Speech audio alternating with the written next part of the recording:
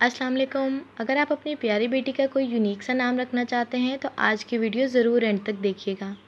और अगर चैनल को अब तक सब्सक्राइब नहीं किया तो जल्दी से कर दें, फिर वीडियो शुरू करते हैं। बिसमीम शुरू अल्लाह के नाम से, जो बड़ा मेहरबान और रहम करने वाला है। आज का पहला प्यारा सा यूनिक सा नाम है अजला। अजला के मायनी है हशाश बशाश या खूबसूरत। नेक्स्ट नेम है दुर्रा। दुर्रा के मायनी है मोती का दाना। नेक्स्ट नेम है अदीबा अदीबा के मायनी है अदब वाली.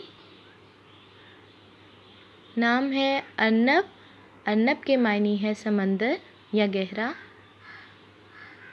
अगला नाम है अदीमा अदीमा के मायनी है नायाब.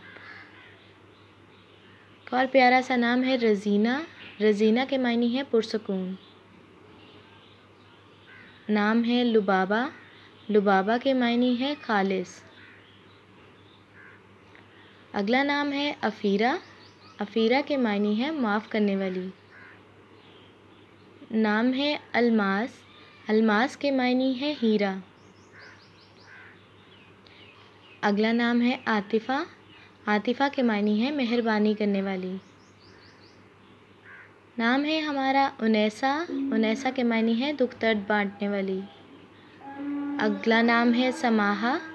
समाहा के मायनी है बख्शने वाली या सखावत वाली। नाम है अलैना। अलैना के मायनी है शहज़ादी। और आज का आखिरी नाम है मंतशा। मंतशा के मायनी है ख्वाहिश। Thank you so much for watching the video अगर आपको वीडियो और वीडियो में मौजूद यूनिक से नाम अच्छे लगे तो इस वीडियो को लाइक और चैनल को सब्सक्राइब कर दीजिएगा, ताकि मैं फिर से कुछ नए नामों के साथ आ सकूँ।